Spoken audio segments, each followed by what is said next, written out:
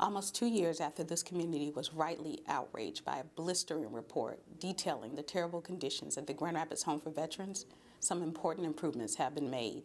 Still, there's more work to do. The new director, Tracey Nelson, must continue to build on the progress when she takes the reins December 4th.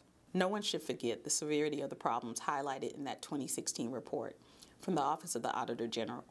They included failing to properly investigate allegations of abuse and neglect, inadequate staffing levels, and taking too long to fill prescriptions. Video also revealed insufficient room checks and alarm checks.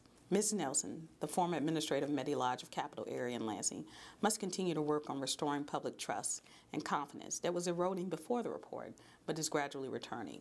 That means being vigilant about delivering first-rate service, having a competent staff, and demonstrating accountability and transparency.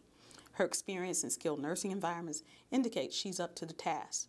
Our veterans and their families should have confidence that once they complete their service, they will be treated with the dignity and respect they deserve. Recent state and federal reports show that the quality of life of our nearly 300 veterans improved under the prior leadership. The home has met all 231 standards reviewed by the Department of Veteran Affairs in its annual survey.